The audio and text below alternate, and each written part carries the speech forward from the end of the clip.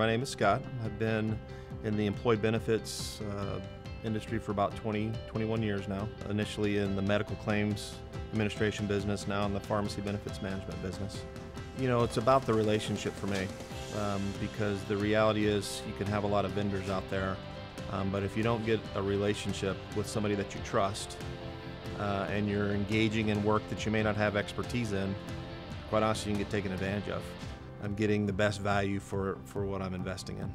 The price that I'm paying is, um, is being shared with me uh, in, in a way that instills trust.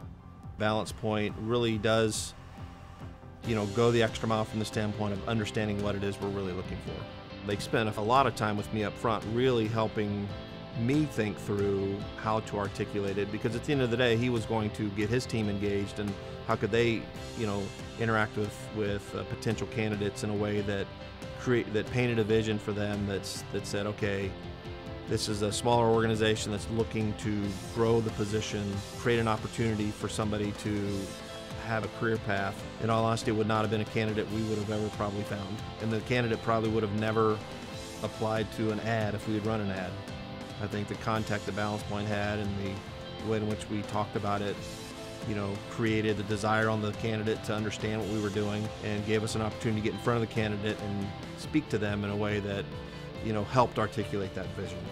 Um, and he's joined us and he's very happy.